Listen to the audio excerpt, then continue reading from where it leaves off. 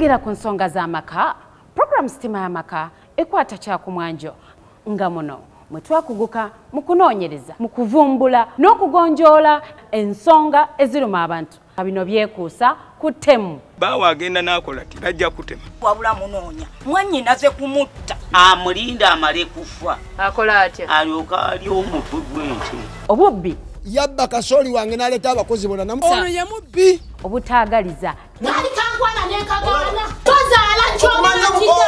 kyonakidde enge mutabani mukakamu nnyo wakyejo nnyo ate mukamala perepereperepere ne mugamba maama bw'oba owulira ng'oyagala omwana weebake ne mutabani we omuza- akuzaalira ne buli kyomanyi nga kirumya obulamu bw'omuntu nga kuno kwotadde administration issues dna issues ne domestic violence okutwaliza awamu. Ng'ensonga zino zonna tuzikwasaganyiza wamu n'ebitongole ebyamateeka police cid high court nga n'ebyobulamu bannaffe aba mbn batuyambako mu keberandaga butonde.